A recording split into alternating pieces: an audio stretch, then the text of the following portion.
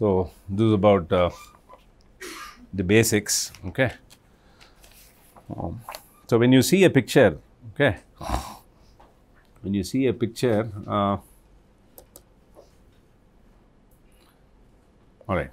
So, she is actually Lena, right? Her name is Lena, and uh, she is supposed to be, a, you know, she is the one whose image has been used, I don't know, a zillion times maybe by the image processing community, right, for free. Okay, I mean, so in, the, in this world now, probably it's unthinkable. So, her face apparently, right, has all the kind of right features that you might need in order to evaluate algorithms. No longer the case but then yes right there was a time there was there was you know an extended period of time when, let's say right people people would simply say that if your if your algorithm works on lena's face then it's then it's good right? You might of course argue but then the, the fact is right this image has been has been used over and over and over and in fact uh, right lena was called uh, i think 2015 uh, Vancouver, I think, right? When IC, ICIP 2015, she was she was she was actually she was actually felicitated simply because right i think uh, they just they just they wanted to acknowledge the fact that her image had been used so many times in the image processing community. It was it was more like an acknowledgement. So she came and then you know so i believe okay so now when you when you see an image like this right one of the things that you kind of notice is that when somebody talks about an image then they say it's of a certain size right they say it's an n cross m image or it's a square image n cross n 512 cross 512, 20, you know, 1, 1024 by 1024 and so on. So, what those things really mean is what is called actually a pixel, right? A pixel is really, you know, a picture element. When you say a picture, you mean a really a picture element. And when you see images, typically, right, these are the three fundamental kind of images that you will see. One is a color, which is the first one. This is a color image. So, as you can see, so this is typically made up of uh, RGB components. The second is called really a grayscale image. And then the, th and then the third is called a, called a you know, binary image binary in the sense that it has only one and one and zero levels this one okay and uh, this one is kind of gray again right depending upon how many how many uh, bits you use you can have a you can have a grayscale image that has maybe 8 levels 16 levels whatever 256 levels more number of levels and so on. And then you could also have really a color image. In our in this course right, the focus is going to be more on the more on 2 and 3 the color part uh, right we won't we won't actually deal with except when we do some segmentation and so on. Okay, that may be the only time when we will actually use the color image. Otherwise, otherwise, right, we won't actually, we won't really talk much about a color image. The grayscale and, and the binary, right, are, are really the are really the two images that will be grayscale mostly. Binary also, right, will be actually useful. In fact, a binary image is also very useful because sometimes, right, you might just have have some kind of a cartoon, right, and you are able to make out who it is, right. You don't even have to draw the entire uh, entire you know tones and all of this. Especially if, if it's somebody famous, we know that you know a cartoon diagram of, the, of that of that person we know that conveys so much information. So in that sense, binary is also is also kind of say very very relevant. Okay, so we'll also see that. Okay, so a pixel. Okay, in that sense. Uh, okay, this will require a little amount of so so right. So when we talk about we talk about a pixel, right? We really mean right in black. Okay, when we talk about a pixel, what we really mean is mean is a picture element. Okay, a picture element, and uh, and uh, and then right when you see a picture, there are actually three things. Okay, which would which you would uh, which you would immediately notice. Of course, if it's a stat, if it is a still frame, then there are there are two things that you notice. One is one is a brightness resolution. One is really a brightness resolution okay, which actually means the means the number of number of uh, number of the gray levels, okay, which you are using, okay, which are there in that image. So the more the gray levels, the more smooth that particular no smooth in the sense that the more natural it looks.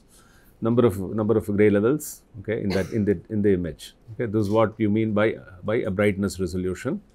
Normally, it is about to say 256 okay, which means you use about 8 bits. But that, that, that is simply because of the fact that for, the, for a human being, right, beyond that, you can of course go higher, you can go to 512 gray levels, you can go even higher and so on, but then it doesn't seem to matter so much, right, unless you have a specific application okay, where you, where you, where you know, where you really need to really, this one quantize, very fine. Otherwise, it's okay. For a human being, I think 256 gray levels, you can appreciate what is there in a, in a picture. So, most of the images you will find are kind of, you know, have about 256 gray levels. But again, right, if you try to see decrease the gray levels and so on, you can start, you know, seeing some effects. Okay, like for example, uh, in this case, right, let me just show you an image with, uh, so what would happen right, if you try to, okay, if you try to kind of play around, you know, with, with the gray levels. So here is, uh, here is a, here is a case where on the left, okay, it's the same image, right? If you see the size and all, it's exactly the same. There's no change in the size. Uh, but then on the left, uh, we've used about 256 gray levels. Now in the second one, what you see is called a, a false contouring right? It looks like the face has these contours, right? Especially if you see here and all, right, there, there, seems to be some kind of a contouring that's happening, which is actually not there, you know, which is, which is not at all supposedly there in the actual image, right? So this is called a false contouring. So, so if you try to, if you try to keep on decreasing the uh, number of bits, thinking that it is all right, right, it may not be all right because when somebody looks at the picture, then he starts drawing wrong inferences. So something like this is okay, right? 256, I mean, you know, if you feel it's, it's, it's fine, right? Whatever is there to make of that face, I can make out. And similarly, not just for faces, this 256 is kind of a standard accepted norm, hmm? 256 gray levels. Then the second one that, okay, that, uh, that, uh, no, that you might want to get a look at when you see an image, especially if it is a still image. So one is the one is this brightness resolution, which which of course you know which is something that that uh, that that you that you immediately feel. The second one is what is called a spatial resolution. Okay, what is called a spatial resolution, and uh, and these two are completely independent of independent of each other. Spatial resolution has to kind of say do with do with how many how many sensor elements you really pack in an image, right? So it's like saying it's like saying how many. So for example, right, if you if you have if you have the number of sensor elements per unit area which is higher, then it means you're actually sampling a scene, you know, in a sort of a higher you know, with a higher spatial density right? Similar to the way you sample sequences in time, similarly, if you want a good spatial resolution, you'll have to sample a scene closely enough but if you have these sensors, uh, sensors that are spaced too far away, then it means you're not sampling enough, right? So how many sensor elements, okay, are packed? How many sensor elements in in a, in a let's say it's a in a unit area, right? Or in a sense, you're talking about what is it going to say density that you have. Okay, so the higher higher your your this density, then you would be able to see you know. So the idea is that finer details will start to appear. Otherwise, if you have if you have a resolution which is spatial, so now it is independent of the other one. So the brightness thing is independent of this. You could have a spatial resolution of whatever, and then you could have a brightness resolution which can be four bits, which can be eight bits, whatever. Okay, so these two aspects are totally independent of each other. And uh, the spatial resolution simply, you know, gives you a sense for how much fine details are you able to see in that image. Okay, so here, for example, uh, let me just go to that uh, go to that picture again. Uh, and you know, so if you see the if you see the next one, okay, so here is a case where you see a spatial resolution effect, right? On the left, what you have is the is the original Lena image, and on the right, what you have is actually a spatial resolution which is at half the size, okay, which actually which actually means that you know what we have done is we just expanded it to the say, same size as the original, so that you can actually appreciate as to what is going on, right? What you're losing. Okay, when you see the two, what you see is, I mean, they, they both have exactly, the brightness resolution is identical in both.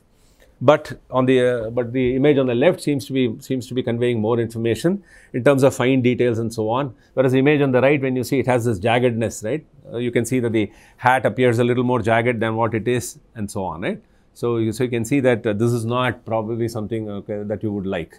Again, if certain, in certain problems, you feel that this resolution is enough, you might actually go with it sometimes right what also happens is that you might you might actually try to solve a problem where somebody gives you a low resolution image like this and asks you right can you kind of go from here to there? By low resolution what i mean is if this guy is let's say 512 cross 512 then this image is actually 256 by well let's say 256 it's like a resolution down by 2 but it has been scaled up so so that so that the two right you can actually compare. Now you can actually ask that can i go from 256 cross 256 to 512 cross 512 right? That is that is also something that is you know that is of interest. So when you have a camera that is kind of cheap, right, and you want to implement some signal processing algorithms that will work on the image and take you back to a high resolution grid. Okay, this is typically not just an interpolation problem. This is more than that. Okay, so you can try interpolation and all, but interpolation works basically with whatever it already has. Okay, you can't bring anything new, right? Interpolation works with whatever is already around. Whereas, whereas uh, no, unless of course you've already say oversampled or something, which we are not assuming. Okay, uh, so what is normally done is, uh, you know, should I, should, can I, can I, can I do it with just one image to, uh, you know, can I, can I go like a single image from a single image, can I go to a high resolution, which looks like a very ill-posed problem? Or you might ask, can I have a bunch of images taken all at, all at a low resolution? but then they should be taken in a certain way so that they convey together, right? They actually convey information that can take me from that low resolution grid to a high resolution grid. Okay, saves you money, right? Saves you saves you on a kind of a lot of things. Now, the third kind of, uh, and again, the spatial resolution is independent of, uh, like I said, the brightness. There's one more thing, okay, which is uh, which is actually what is called uh, what's called a temporal resolution. What is called a temporal resolution. This is not uh, this is not a factor if you have a still image, but it's a factor when you have a video, right?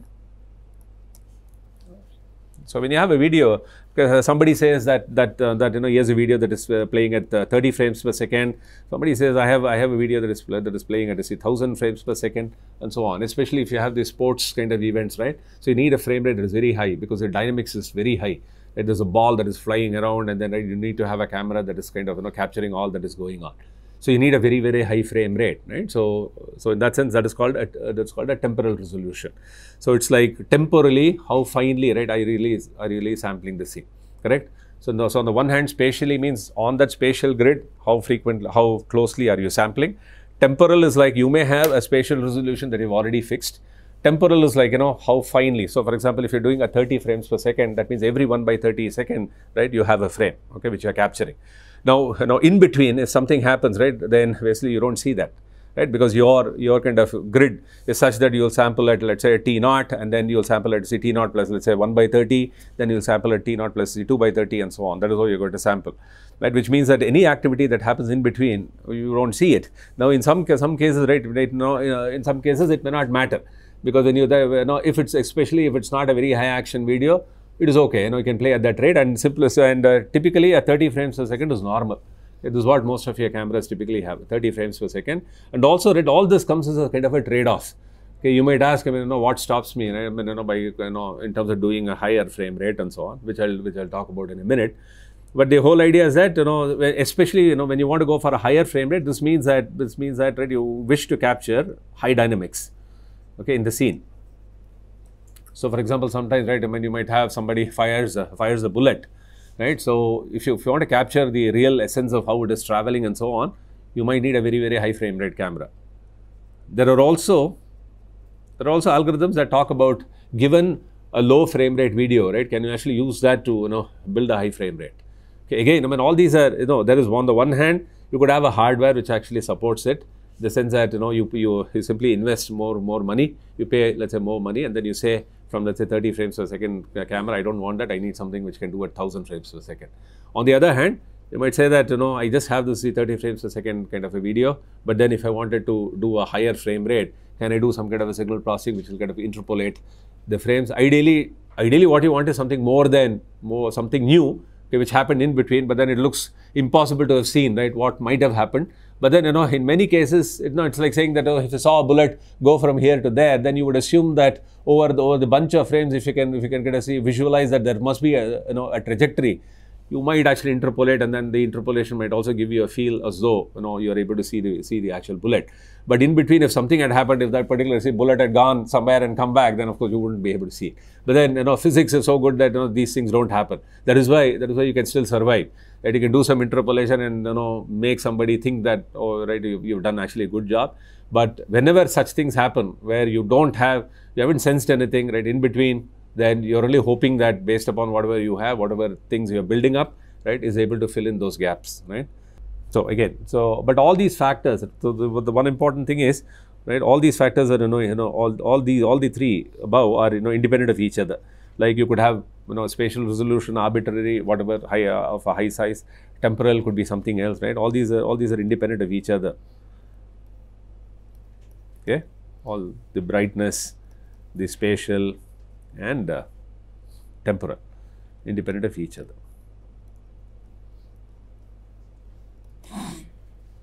Now if you ask right i mean if i had a spatial resolution okay if i had to if i had to make it higher let's say I have 512 cross 512 and then suppose you say that I want to go up to say 5000 cross 5000. What stops me, right? Is it the hardware that stops me really? Is it like, you know, I can't make a sensor which is that small?